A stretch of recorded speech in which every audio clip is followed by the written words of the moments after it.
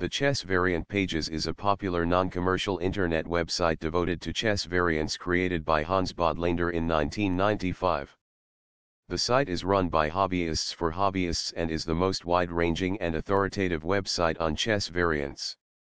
The aims of the site are to educate readers about chess variants, encourage gameplay, and provide a place for free discussion. The site has featured game competitions as well as variant design competitions, and provides facilities for publishing documents. Numerous files are available for playing variants using the Zillions of Games proprietary software engine. The site also features the Game Courier software developed by Fergus Duniho which can be used to play almost any variant.